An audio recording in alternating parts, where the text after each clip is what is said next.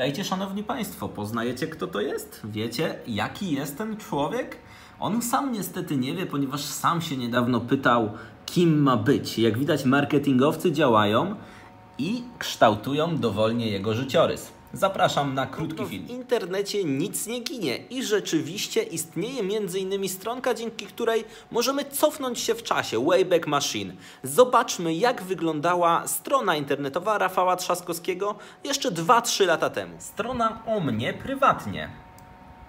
Rafał dla Krakowa. Słowo Kraków ogólnie pojawia się tutaj 10 razy. Ojciec z Krakowa, dziadek przedwojenny krakowski, sędzia, wszyscy byli krakowianami. E, nawet informacja o tym, że żona skończyła Akademię Ekonomiczną w Krakowie, oddzielne podstrony dla e, Krakowa. Przejdźmy. A, jeszcze oczywiście każdą z tych podstron można odtworzyć. Między innymi moje związki z Krakowem, oddzielna zakładka.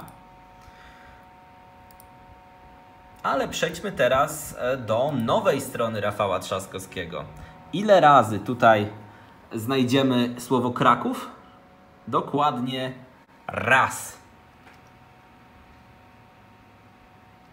Tylko i wyłącznie informacja o tym, że ojciec jest z Krakowa. Informacja o żonie, no niestety nie znalazła się już wiadomość o tym, że kończyła szkołę w Krakowie. Szanowni Państwo, kim jest ten człowiek?